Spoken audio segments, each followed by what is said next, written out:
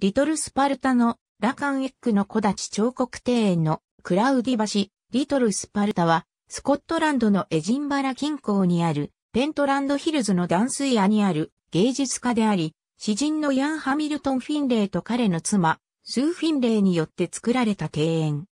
5エーカーほどのアルカディアの庭は、具体的な詩と彫刻という形によって、彫刻や二つのテンプルとともに、論争や哲学的な格言も展示し全体を多数の職人や女性らがコラボレーション、芸術家による275以上の作品も見られる。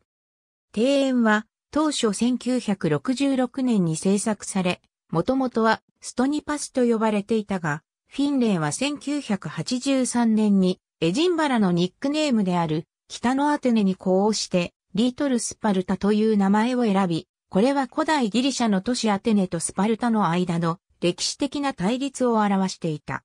ガーデンテンプルの格付けに関し、フィンレイが総称していたように、リートル・スパルタは数多くの論争すなわち戦争を乗り越えた。フィンレイは2006年に亡くなる直前までそこに住んでいた。もともと羊飼いで農家、かつ詩人であったヤン・ハーミルトン・フィンレイは1966年スコットランドのストーニーパスへ移り住むようになってから独学で自宅周辺の荒涼とした土地に彼の哲学を反映させたには、リトルスパルタを作り始めた。彼は植物に対し独特の接し方をする。古典的な庭園の歴史を吟味しながら、自身の庭園内へ詩や記号を刻み込んだ石碑、彫刻を散在させ、これらの人工物と植物をひとまとまりとして干渉させることで、文化的かつ批評的なメッセージを読み取らせるよう努める。このように指摘とされたエレメント群は、全体が調和的に了解されるよう慎重に計画された。庭全体のモチーフとなっているのは、新古典主義庭園における理念のほか、フランス革命の理念に付随するデモクラシーへの思考、等といった革命に関するものが挙げられる。つまり彼は、あらゆる制度、文化、道徳クリシェに対し過激なまでに挑発するエンブレムを庭園へ込める。このようにして彼は、異議申し立てを果敢に反復する、戦う造園家として、辺境の地でただ一人孤独に、勝利を確認するまで規範としての庭を作り続けた。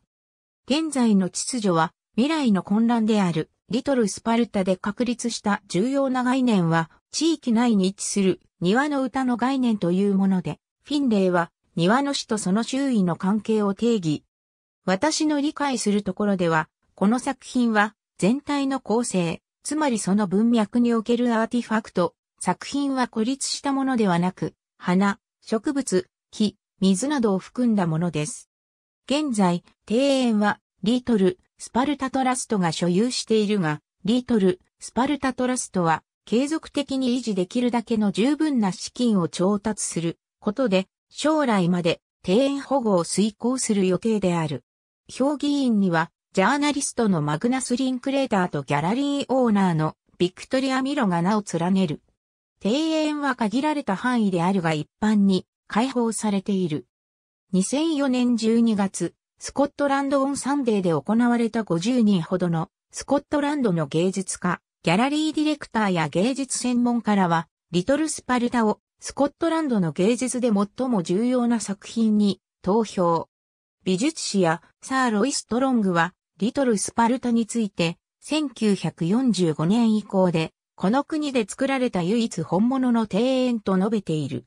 ガーディアン誌で執筆をしている、ジェームズ・キャンベルは、庭を20世紀芸術の脅威の一つとして説明し、そしてハミルトン・フィンレイの前衛的な庭師という紹介にも同意している。ありがとうございます。